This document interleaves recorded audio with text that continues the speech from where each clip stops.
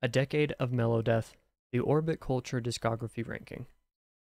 Introduction.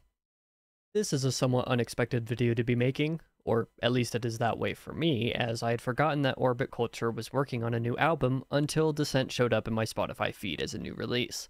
But let's backtrack just a little bit.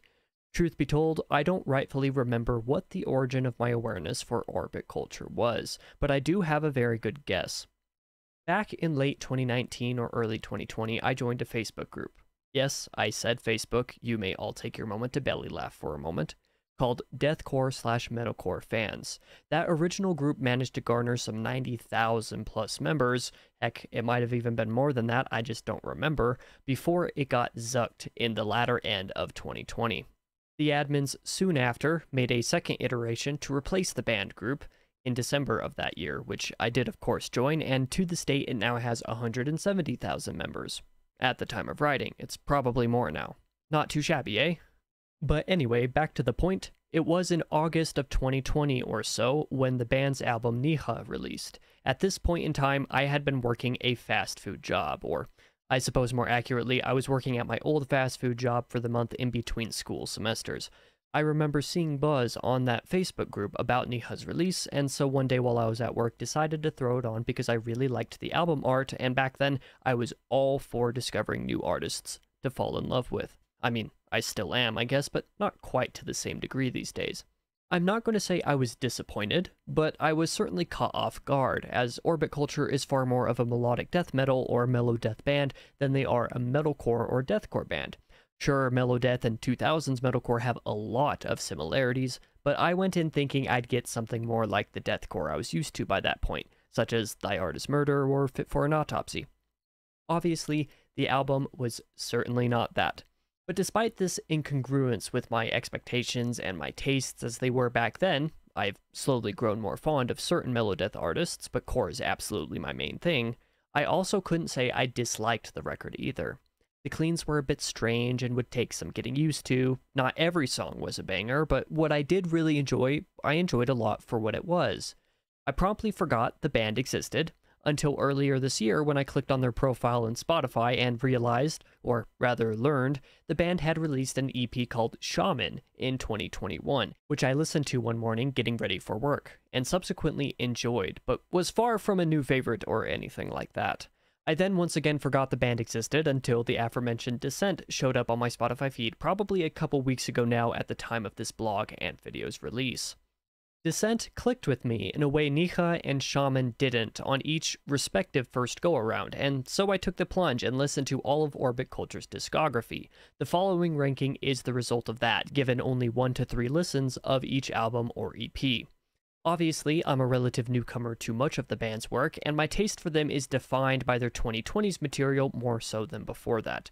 Several of these releases I listened to for the very first time over the weekend of August 18th, 2023, and this ranking is absolutely subject to change over time and more listens. In fact, several placements changed just over the course of writing this ranking. But I believe I've delayed this ranking long enough, so let's talk about the last decade of orbit culture. 7. In Medias Res, album, 2014. I don't know exactly why this one didn't really click with me at all, but it was a pretty easy last place when it comes to orbit culture. In Medias Res seems to lean a little bit more on the death metal part of melodic death metal, and didn't really do much of anything that I found to be memorable or really worth checking out again. I listened to the album a second time to make sure it wasn't a fluke, but no, it's just not that great, which is unfortunate. The vocals were fairly one note, the instrumentals didn't really do a lot of the things that I've come to love this band for doing, and all the songs felt too short, a 3 or 4 minute average compared to the 5 plus minute average of nearly everything else they've done since definitely makes for less interesting and variant tracks as far as I'm concerned. And besides that, the album utilizes a few instrumental interlude like tracks that just don't feel like they properly fit to me, despite being, strangely enough, arguably some of the best songs on the album. In Medias Res has very cool album artwork, but I don't particularly like much else about it. I don't think I dislike any of it, it just doesn't work the way the rest of Orbit Culture's discography does. Standout tracks Kalabalik, sorry if I'm pronouncing that incorrectly, for being one of the most broadly interesting tracks on the album, I guess, and Of Sovereignty. Probably the best track and the most interesting alongside Kalabalik, despite the drawn out fade out ending, which I tend to dislike. 6. Odyssey, EP, 2013. Odyssey stands apart the most from the rest of Orbit Culture's discography because of the relatively low production, mostly on the vocals, but as a debut release, it is forgivable, not to mention understandable. There's a part of me that's a little sad the band hasn't continued to use the style of album art ever since the EP, but I do also love the style of Nija and Rasen as well. But I digress. The production on the vocals may not be the best, and some of the mixing of the instrumentals is rough around the edges as a result of this being the band's first release, but I really liked what Odyssey was doing. The rhythms and patterns and little intricacies Orbit Culture already thought to include to make it interesting and to make up for the vocal production was brilliant for a debut. Speaking of vocals, this EP and the sophomore effort In Medias Res are the only two releases from the band that don't have any clean vocals on them. Of course, this isn't inherently a bad thing, even if after getting so into their style of cleans, especially for choruses, visiting this for the first time had me really missing that element of the soundscape. Otherwise, there isn't a whole lot of complexity in the work, just little nods to it. The instrumental job is still very good, and I do see myself returning to this one now and again just for something different. I don't love the 2000s era of metalcore, or even that era of melodeath with the bands in the genre that I do follow, such as Insomnium, but the things about those stylistic decisions that I do enjoy are things that Orbit Culture is calling back to and doing solidly with Odyssey. Plus, at just 20 minutes, none of these tracks waste time, nor do they ever feel too brief, like many songs on In Medias Res do, even though the opener, The Plank Distance, the second song, Wildfire, and the fourth track, Tell Tellus, were only three and a half, two and a half, and three minutes long, respectively. Overall, Odyssey is definitely good fun, and it introduces several of the band's overall strengths, the gallop patterns and riffs and drum grooves foremost among them, but it's not quite so mind blowing as the band would eventually become. But you know what? That's perfectly acceptable, not to mention expected for a debut. It didn't place last in the ranking. That speaks for itself. Standout tracks The Plank Distance, for the guitar work, which is phenomenal, offsetting the roughness of the vocal production. Odyssey, because I love the patterns and grooves in the guitars and drums, and The Sparrow. What can I say? I'm a sucker for epic songs. 5. Rasen. Album 2016. My apologies ahead of time, but I cannot come up with an answer as to which language the title of this record comes from, and therefore how to pronounce it, so my butchering of it will just have to suffice. That is, unless the title is just a play on words for the figure on the artwork kind of looking like a raisin, but something tells me that isn't the case. Rasen, released in 2016, which I'm definitely not in denial about being seven years ago, was the first Orbit Culture album to include clean vocals, and I must say that it was a very welcome addition to the formula, particularly after I found the previous album, In Medias Res, underwhelming and even somewhat boring. Rasen also features the band beginning to approach more lengthy tracks in songwriting with an epic scope to them, as all the tracks in Medias Res were relatively shorter in comparison, although Odyssey did have a few of those tendencies too in one or two tracks. There are fantastic riffs and drum grooves featured throughout, an aspect to the band's musicality that I absolutely love. Their grooves are infectious, especially their galloping riffs, requiring nearly constant headbanging to satisfy. Also, a quality that would remain fairly constant through the remainder of their career thus far. These kinds of riffs make frequent appearance in Descent, Nija, and Shaman, giving you a taste of just what this band is going to be about in their future. But Rasen also has some rather interesting decisions that make songs like Son of All just kind of feel off somehow, and riffs like the first one in the title track feel comparatively empty until they're joined by almost excessive ambiance. The chorus of Obsession is a notable example of a bold musical choice that is interesting and memorable but doesn't quite jive perfectly. However, while several of the stranger decisions appear on Rasen's first half, the back half doesn't really suffer from this, and the last few tracks in particular are fantastic. The Haste to the Pyre is a wonderful change of pace that really reminds me of my favorite parts of Insomnium, right before Wings of Dragon and I the Wolf, which do a good job of retaining the identity of the album as a whole without the slight strangeness of before. And then the last three tracks, however, are where the album truly shines. They foreshadow the sheer quality of what the band would come to do in its future, whether it be the epic and grand scope of the soundscape from the umbilical cord, the heavier musicality of Dawn of Light, or the simultaneously filthy yet feelsy moments of In War, Orbit Culture really knows how to evoke mental imagery like nothing else in this portion of the album, more so than most of the rest of their discography. Rasen overall isn't quite to the level of what the band has done in the 2020s, unless the explicitly melodeath side of their sound is preferable to you, but it's a very solid blueprint for it all. The back half in particular is quite good, with a final few tracks that are just incredible quality that competes with the best tracks on Nija and Descent to come. It almost feels wrong to have this one so low, but what can you do when a band has so many releases of such high quality? Standout tracks the Haste to the Pyre reminds me of what I love most about melodeath as a genre. The umbilical cord has the sheer epic nature to the back half that I love, and In War for being relentless but not overpowering, tastefully conveying aggression without making one feel aggressive. 4. Red Fog, EP 2018. Red Fog is notable simply for the fact that one of the band's most popular songs, or at least one of their most comparatively streamed songs, Saw, is on it, or, well, the song was still in their top 5 on Spotify before Descent came out, and has since changed. But with that in mind, I was shocked by how little I remembered of this album the first time around, both in terms of what I listened to and in terms of how I felt about it. At least with In Medias Res, I remembered not liking it much, and in the case of well, most everything else Orbit Culture has put out, I remembered really enjoying myself or having at least a track or two that stood out to me, but Red Fog just didn't. Luckily, that changed a little bit on my deeper second attempt, hence why this now ranks above Odyssey, when that wasn't initially the case. I perhaps put more time and effort into these rankings than I should. Substantially improved production and sonic clarity found here over their first two releases, and even a little bit compared to Rasen, really makes this a good go to compared to Odyssey. Red Fog in general, however, for me is notable after my second go around because of how different it is from the rest of the band's work, despite still having the core identity that makes Orbit Culture the band that they are.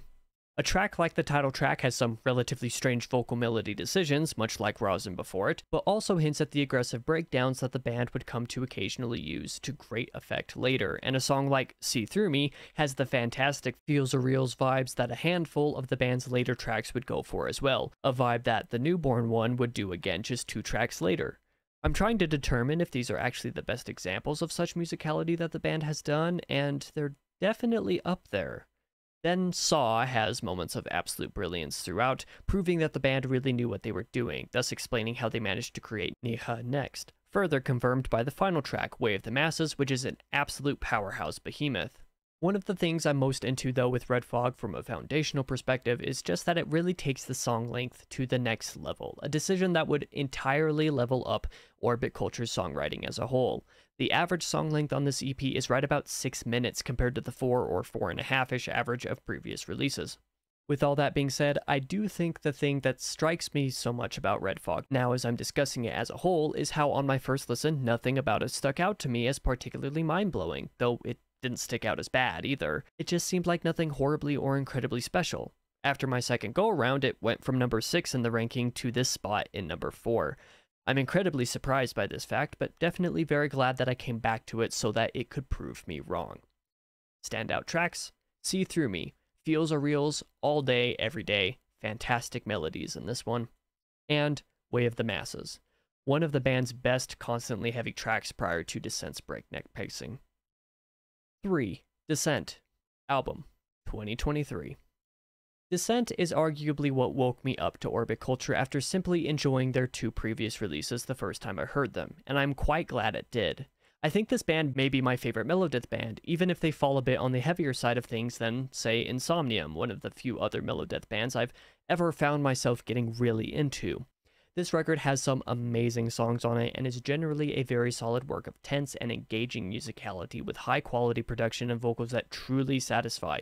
Forgive the track by track I'm going to give on this one, but as it's brand new and I didn't feel it warranted an entire review on its own besides the ranking, I decided this would be appropriate.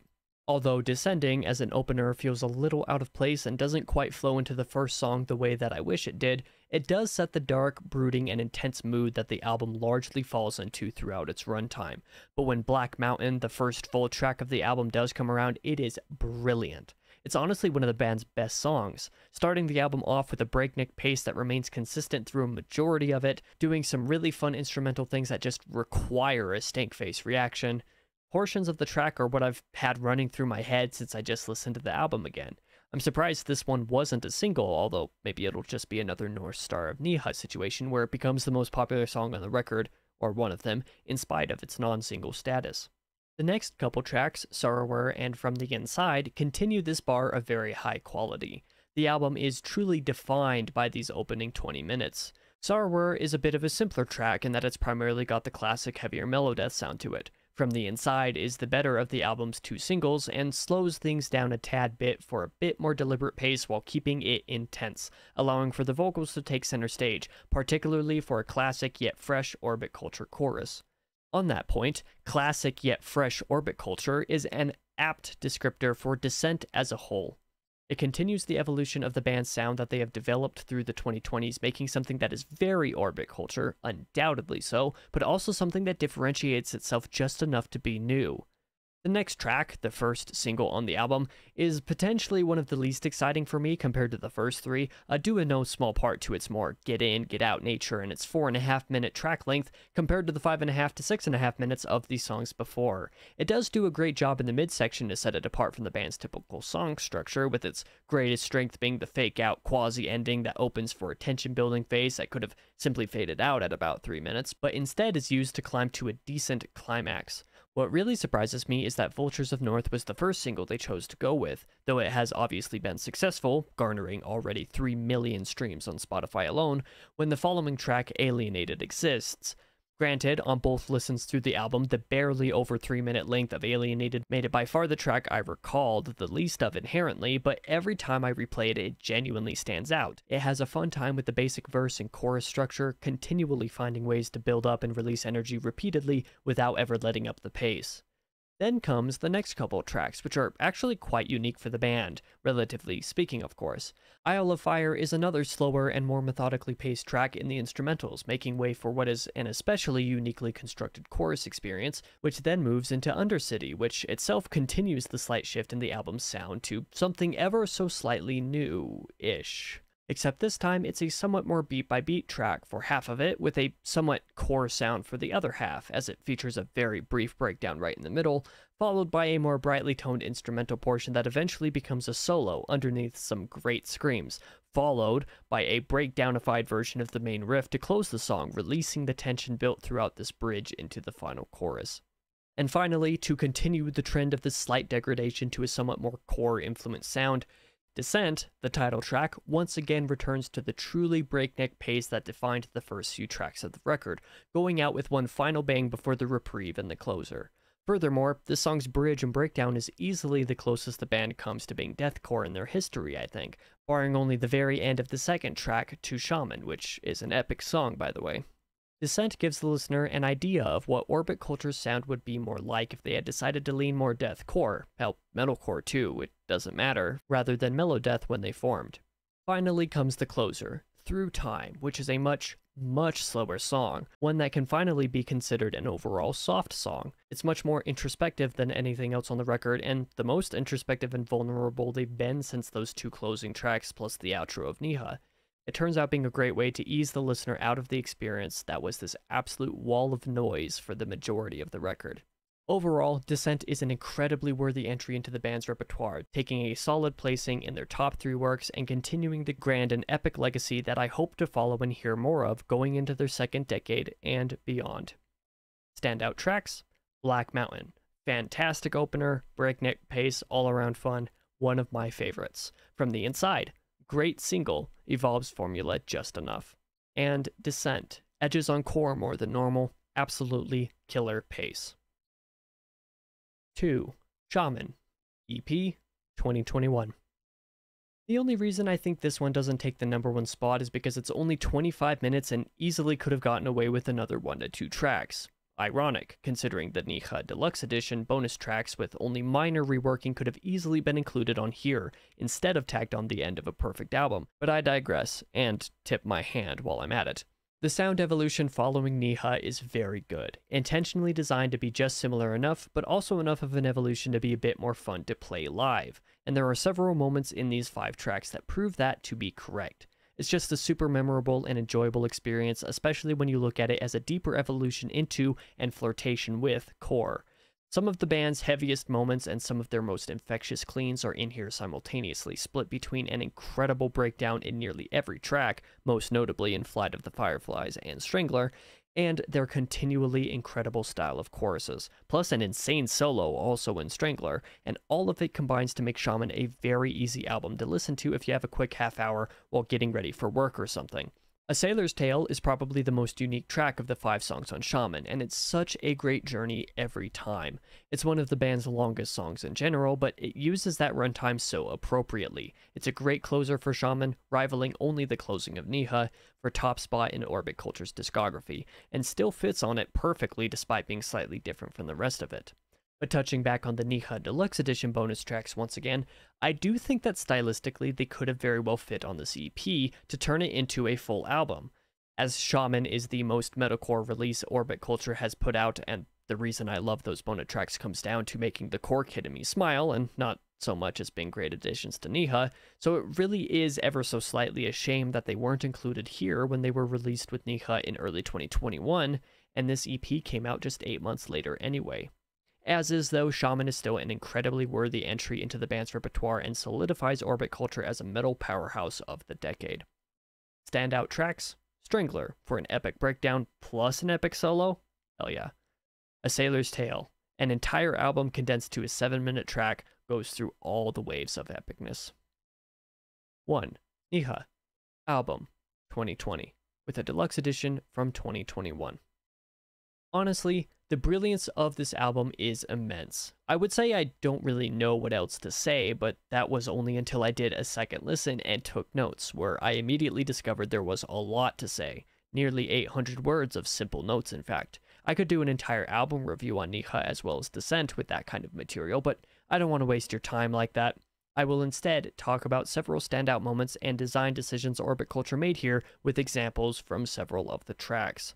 Nija is a pretty heavy album. I would argue it might even be a little heavier than Descent, which itself definitely wasn't soft.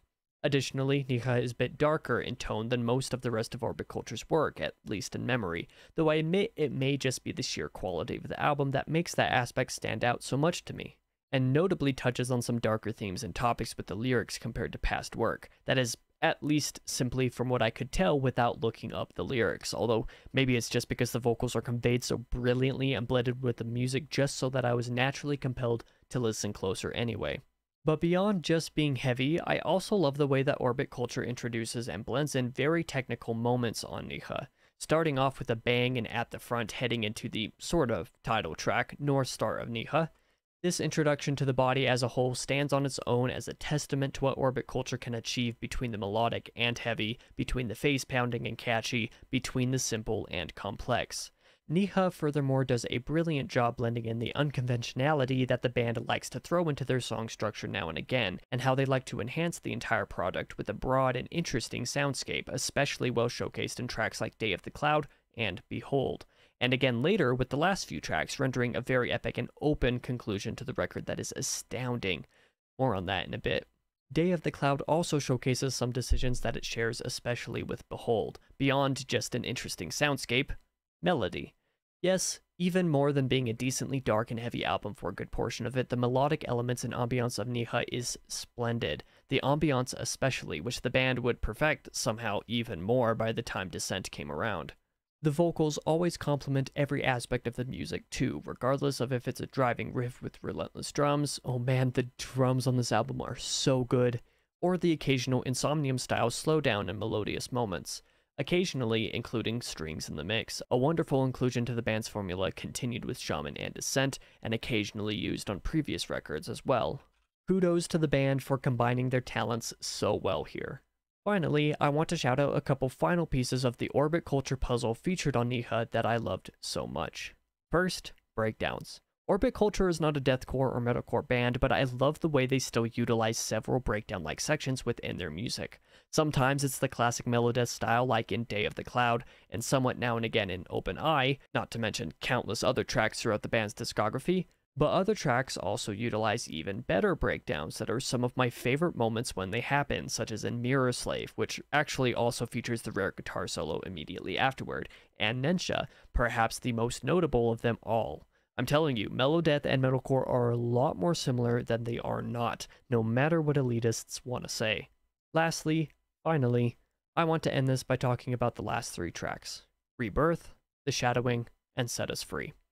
Rebirth begins as yet another slower, more melodic and feelsy song, a vibe that I love the band doing because they tend to do it when it is sure to be the most potent. It's the most broadly unique track that makes for a surprising choice as a single, with a super fun structure that eventually leads into an emotional height with a beat down style pattern to contrast with the emotional moments, another strength of the band, and throughout everything remains quite tormenting lyrically. All of this amounts to a final line close to the end that leaves the tension tight, only somewhat releasing itself in part, leaving a lack of resolution that melds into the shadowing brilliantly. The shadowing takes this unresolved threat and absolutely runs with it, truly. Making another surprising single choice, its incredibly pained clean vocal styles that don't appear anywhere else on this record join perfectly with the instrumentals, just as usual, to create something so genuinely special it's hard to put into words.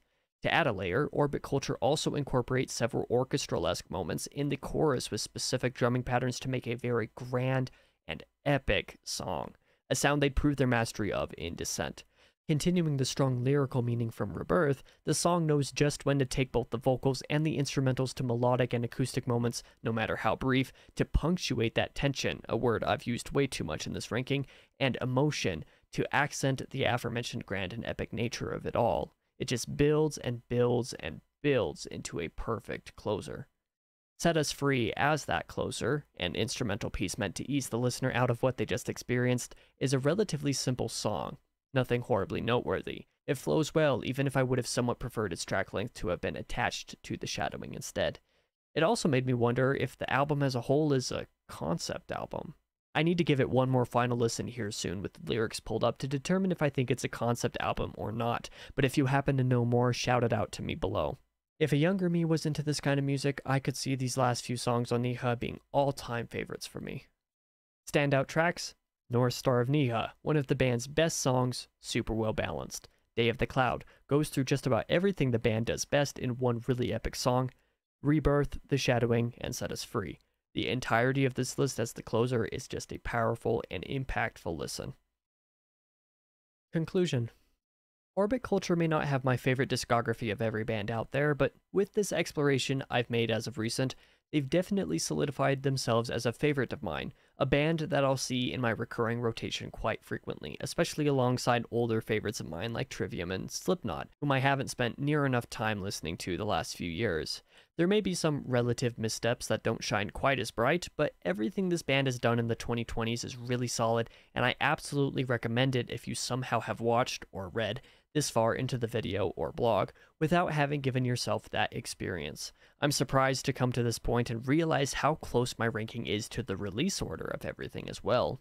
But either way, Nija especially is a must listen at the very least, as I mentioned before. It might very well be perfect as far as I'm concerned.